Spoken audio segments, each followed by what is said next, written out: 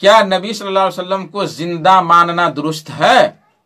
جواب، قطعا درست نہیں ہے۔ علاوہ چند لوگوں کے ساری دنیا کا اس پر اتفاق ہے کہ محمد رسول اللہ صلی اللہ علیہ وسلم کی بارہ ربیع الاول دس ہجری میں وفات ہو گئی۔ مسلم و غیر مسلم جتنی بھی سیرت نگار، تاریخ لکھنے والے ہیں، سب اس بات پر متفق ہیں۔ کہ آپ صلی اللہ علیہ وسلم کی وفات کا دردناک ناک واقعہ بارہ ربیع الاول دس ہجری کو واقع ہوا تھا، جس سے سیرت اور تاریخ کی کتابیں بھری پڑی ہیں۔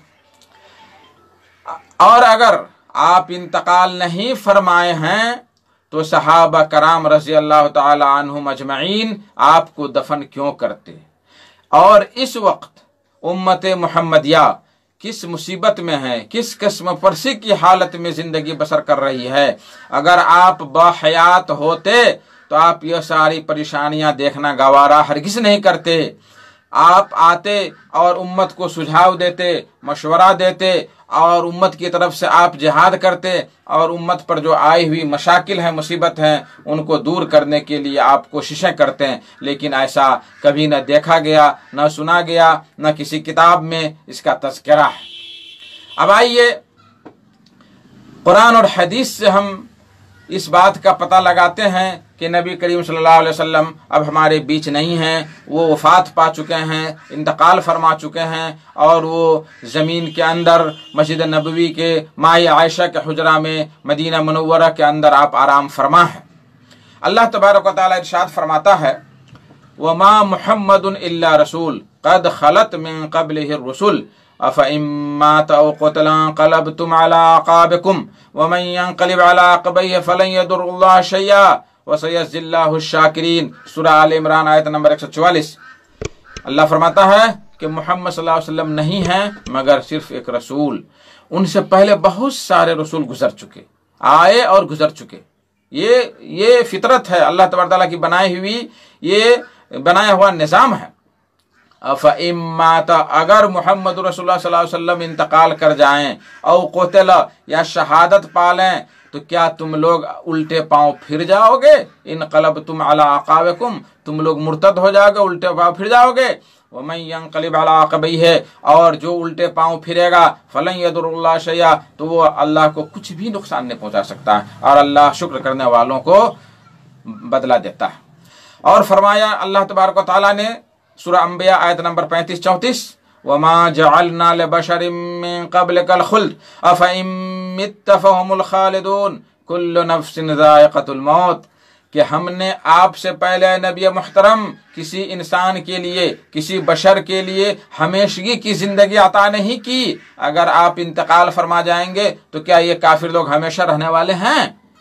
کل نفس ذائقۃ الموت. موت، ہر نفس کو موت کا مزہ چکھنا ہے. اور اس آیت، دونوں آیتوں سے پتا چلتا ہے کہ آپ صلی اللہ علیہ وسلم انتقال فرما چکے ہیں، اب ہمارے بیچ نہیں ہیں۔ اور بھی آیت ہے، آپ صلی اللہ علیہ وسلم فرما، اللہ تعالیٰ نے فرمایا، فَإِنَّكَ مَيَّتٌ وَإِنَّهُمْ مَيَّتُونَ۔ کہ آپ بھی انتقال فرمانے والے ہیں اور یہ لوگ بھی مرنے والے ہیں۔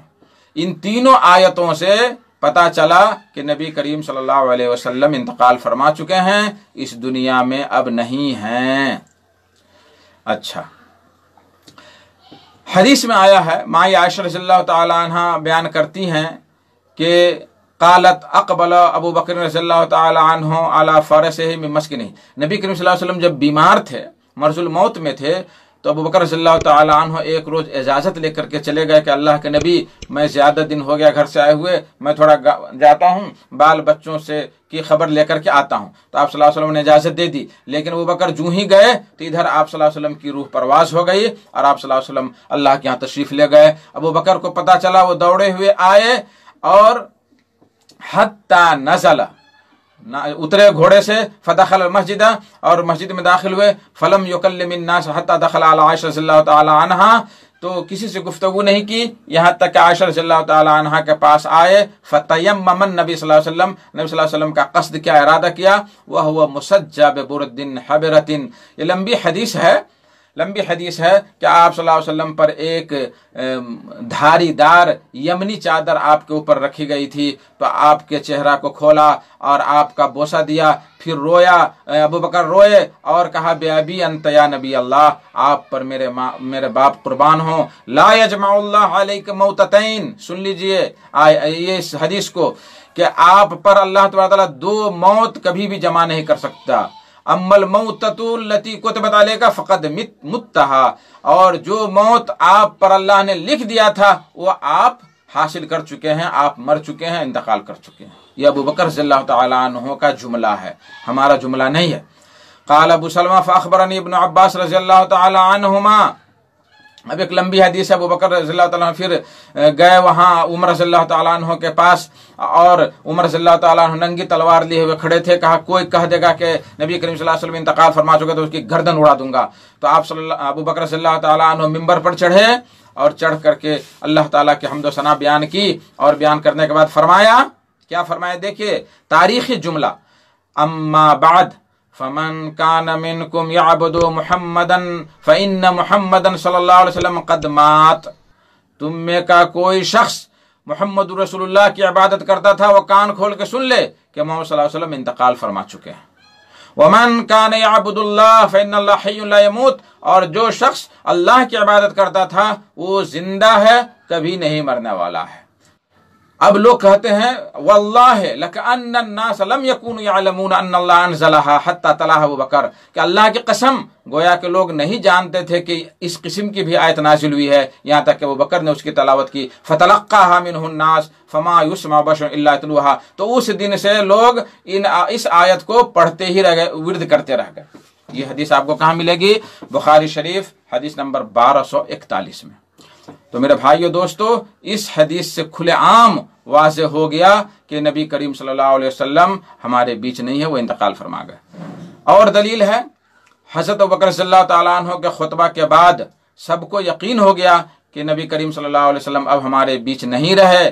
پھر ابو بکر صلی اللہ تعالیٰ عنہ خلیفہ بنائے گئے۔ پھر آپ صلی اللہ علیہ وسلم کے غسل اور تکفین و تدفین کا معاملہ کیا گیا۔ یہ ساری چیزیں دلالت اس بات پر کرتی ہیں کہ نبی کریم صلی اللہ علیہ وسلم انتقال فرما چکے۔ پھر اس کے بعد حضرت فاطمہ صلی اللہ تعالیٰ عنہ آئی میراث طلب کرنے کے لیے، ابو بکر صلی اللہ تعالیٰ عنہ سے، کیا کسی زندہ کا کی بھی میراث تقسیم ہوتی ہے؟ تو ابو بکر صلی اللہ تعالیٰ عنہ نے فرمایا کہ نبی صلی اللہ علیہ وسلم نے فرمایا کہ جو نبی چھوڑتے ہیں وہ امت کے لیے ہے۔ انبیاء کرام صرف علم میراث چھوڑتے ہیں نبوت کا جو علم ہے، اس کو چھوڑتے ہیں۔ تو میرے بھائیو، دوستو، اس سب سے پتا چلا کہ ہمارے نبی کریم صلی اللہ علیہ وسلم ہمارے بیچ نہیں ہے اس ضمن میں ایک لطیفہ، علمی لطیفہ سن لیں کہ ایک آدمی نے کسی ایسے عالم سے پوچھا، جس کا عقیدہ تھا کہ نبی صلی اللہ علیہ وسلم زندہ ہیں۔ تو اس شخص سے پوچھا کہ آپ بتائیے کہ میت کا بوسا لینا جائز ہے؟ دلیل کے ساتھ بتائیے۔ تو اس عالم نے کہا کہ بالکل جائز ہے، میت کا بوسا لینا۔ دلیل کیا ہے؟ دلیل یہ ہے کہ حضرت بکر صلی اللہ تعالیٰ عنہ نے نبی کریم صلی اللہ علیہ وسلم کا بوسا لیا جب آپ کی وفات ہو گئی۔ اس دریافت کرنے والے آدمی نے پوچھا کہ تو بڑی اچھی آپ نے دلیل دی، لیکن آپ لوگ تو کہتے ہیں کہ نبی صلی اللہ علیہ وسلم وفات پائے ہی نہیں ہے پھر یہ دلیل سے آپ نے استدلال کیسے کیا؟ یہ سن کر کے وہ مولوی بغلے جھانکنا شروع کر دیا۔ تو میرے بھائی دوستو، ان ساری تفاصیل سے معلوم ہوا کہ نبی کریم صلی اللہ علیہ وسلم ہمارے بیچ نہیں ہیں، وہ انتقال فرما چکے ہیں۔ آپ صلی اللہ علیہ وسلم کا جسم مبارک مدینہ میں ہے اور آپ صلی اللہ علیہ وسلم کی روح مبارک اللہ تبارک و تعالیٰ کے نزدیک سب سے اعلیٰ درجہ، سب سے عزت کی جگہ پر ہے۔